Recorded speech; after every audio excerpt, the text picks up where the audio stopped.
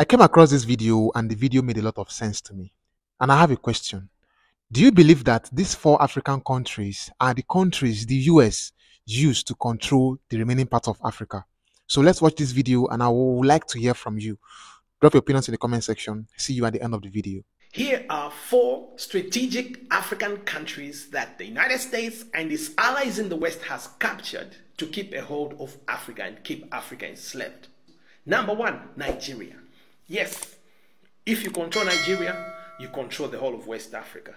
Nigeria, of course, they've, they've got a good network of roads from Nigeria to other West African countries. They've got air transport well linked to all the cities in West Africa. And Nigeria militarily is the biggest.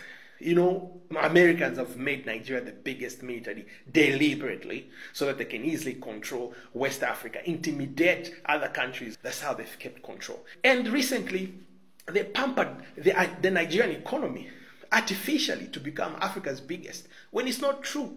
You cannot have Africa's biggest economy with 13 million people threatened by hunger in 2024. It doesn't happen.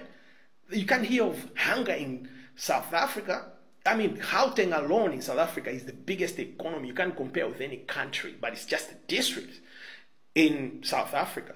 So it's not true that Nigeria is the biggest economy. Americans twerk, twerk, twerk, twerk. They brought down the South African economy. Remember what they did with the banks, conniving with the banks to bring down the rand and all that, so that they should lose track when it comes to Standard and Poor credit rating. Yeah, that's America trying to pamper Nigeria. And why did they pamper Nigeria like that? They were trying to hit back at South Africa for joining the BRICS. Yeah, you get it? So, control Nigeria, you control West Africa. And you know, when they pamper these people, they pamper them socially as well. Nigerians feel like they're top dogs in West Africa, you know, and you know, talk. You cannot talk to a Nigerian about Pan Africanism. Have you have, have, have you heard a Nigerian talking about Pan Africanism? If there is, very few.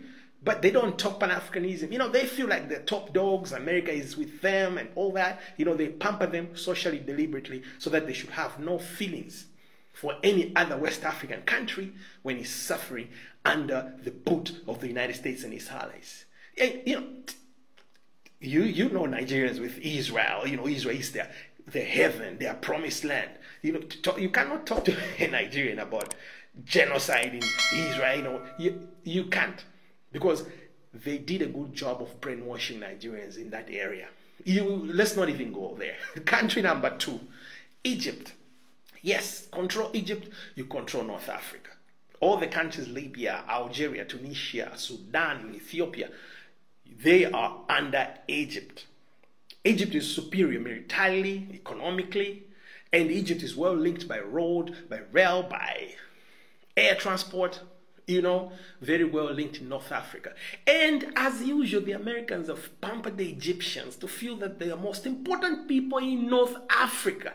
So when they hear that this such such country, like they did to Libya, devastating that country, the Egyptians were just, oh well, it's none of our business. We're good with the United States, you know. So they have pampered them economically, socially, so that they should have no feelings for any other. Like they're eating on the same table, but they're not really. They're just another African country that they're exploiting. You know, and uh, that's how the United States plays this game. So you control Egypt, you control North Africa. Third country that the United States and its allies strategically controls on the African continent is Kenya. Kenya is well placed strategically. The rails and road networks from Uganda, Tanzania, Rwanda, all of them connect to Kenya. And they did that deliberately because they want to get a good grip on East Africa. The United States deliberately made the Kenyan army the strongest army. And that's for a reason. They're sending them into Haiti to keep the peace in Haiti. But in actual fact, they're doing the dirty work for the United States in Haiti. They're doing that in Somalia already. They sent their troops in Somalia on the orders of the United States to keep the peace in Somalia, but they're doing the dirty work there. They're simply trying to make sure that all East African countries are kept in check and the United States keeps its control over the eastern part of Africa. Yes, talk to a Kenyan about Pan Africanism. How many Kenyans have spoken Pan Africanism? One guy, Patrice Lumumba, I give it up to him. I, I, I, I give it up to you, sir. You, but he's a lone star. Kenyans don't share the same sentiments with Patrice Lumumba when it comes to Pan Africanism.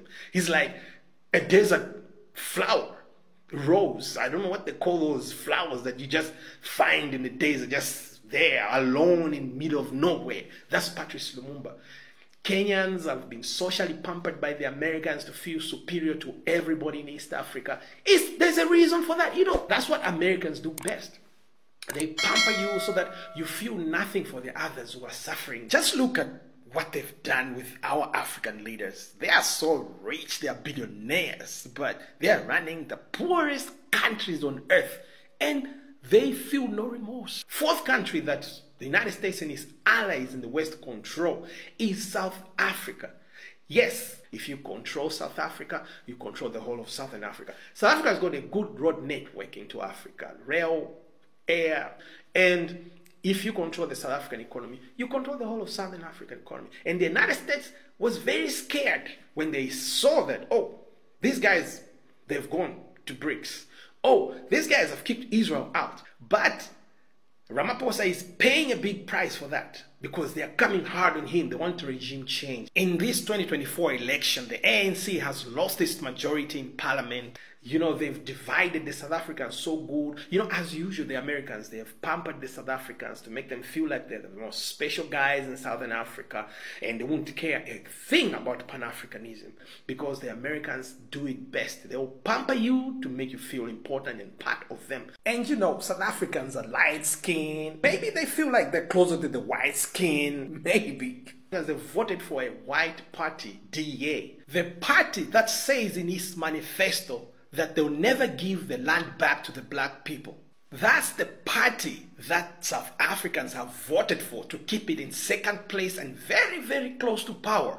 But the party that speaks Pan Africanism, like the EFF, they've kicked it so far down to fourth place. And very, very soon, the DA might start ruling South Africa, slow by slow.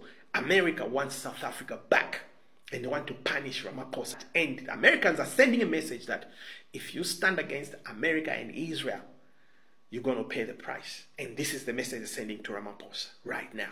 So the Americans are fighting to get South Africa back. This is exactly what is happening.